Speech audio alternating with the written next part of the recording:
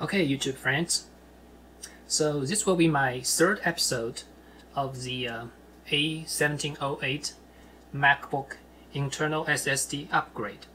In the first episode, I introduced this brand new adapter that can convert the uh, standard M.2 NVMe SSD to your laptop MacBook uh, stock SSD.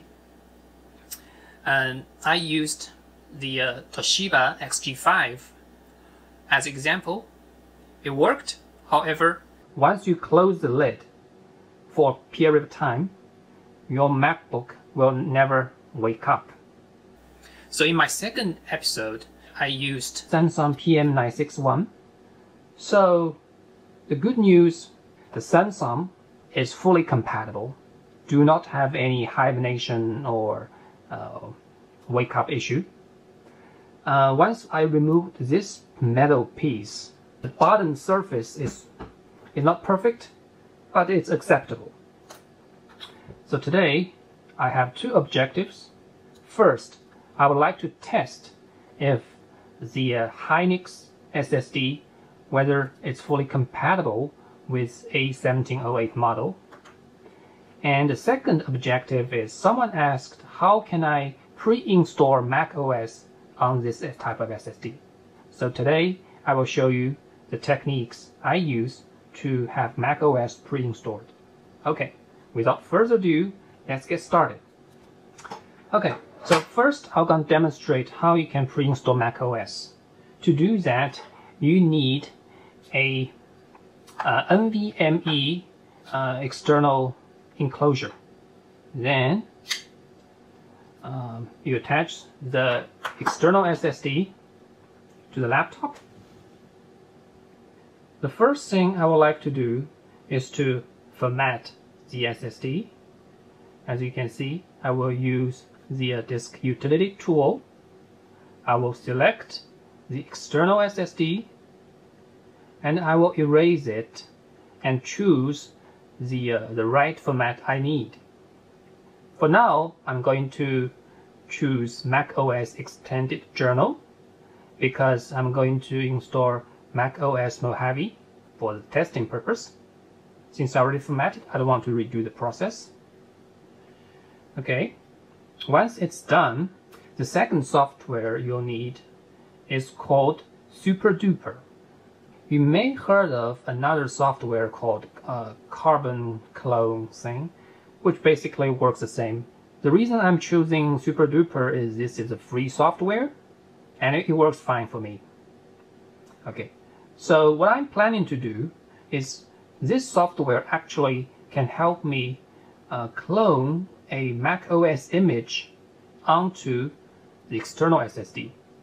So I select the USB image I previously made and I select for the for the this is the source image and this is the destination SSD drive. And once it's done I click copy it will do erase again and you wait for a few minutes and it's done. Okay. So in case you wonder how can I get a Mac OS image in the first place? Well this is how you can do it. So basically you can uh, download Mac OS Mojave directly from Apple website. Then you can double click, launch this application, choose to install on this external SSD. Once you've done that, you can use SuperDuper, select the uh, already installed SSD, and select a disk image. This is a way you can create a disk image. This is the, uh, the common practice that people use uh, to have macOS installed. For instance, let me show you. Yeah, so here, uh, a random click the first link. Here you can see this is a, uh, a third-party SSD and the seller claim macOS has already been installed. Basically, they were using the same technique that I just demonstrated to have macOS installed pre-installed, uh, in case you wonder how they do that. Okay, now this part is done. I'm going to open up my MacBook and test whether the Hynix is fully compatible, whether it has a hibernation issue or not. Now I will have NVMe SSD mounted.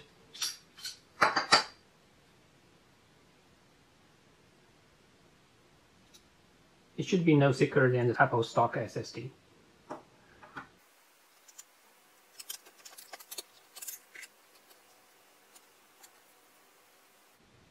It seems macOS is booting.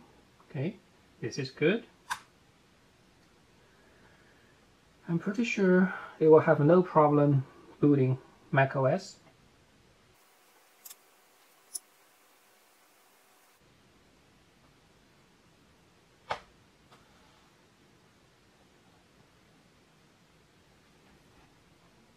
Okay, now that I have waited long enough, let's see if it works.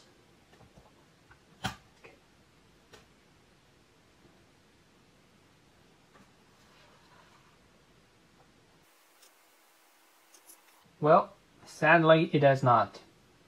At this point, we can probably conclude that neither the Hynix nor the Toshiba is compatible with 1708 MacBook.